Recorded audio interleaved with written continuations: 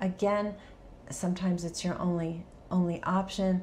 But I, I very feel I feel very strongly that if you have a small up to medium size hiatal hernia sliding, there's so much you can do. Your body can repair so much of it, and and I'm not talking about that 100% of of the widening of of the um, opening in the diaphragm because that's what happens, right? The, the esophagus is just a little less than an inch wide, and then you're talking about, you know, widening it to an inch and a half uh, or so with a hiatal hernia. But with a, a, small to medium hiatal hernia. Uh, and then, so I'm not saying that 100% of that gap closes, but we're really talking about function, right? We're talking about a pressure on the stomach, the pressure causing that upward push.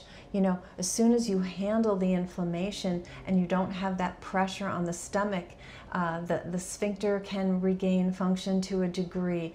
The diaphragm, we can definitely train it as a muscle to regain some function. And, and you start getting all, all of the redundancies that the human body has to make things go correctly, including getting tone to the vagus nerve. Now, not surgical damage, but just normal vagus function can, can be regained. So we have so many avenues by which we can kind of attack what has occurred to create this that patients regularly regain optimal function and they're not bothered with their hiatal hernia and you know whether you know you're you're talking about you know an inch becoming an inch and a half to an inch and three quarters.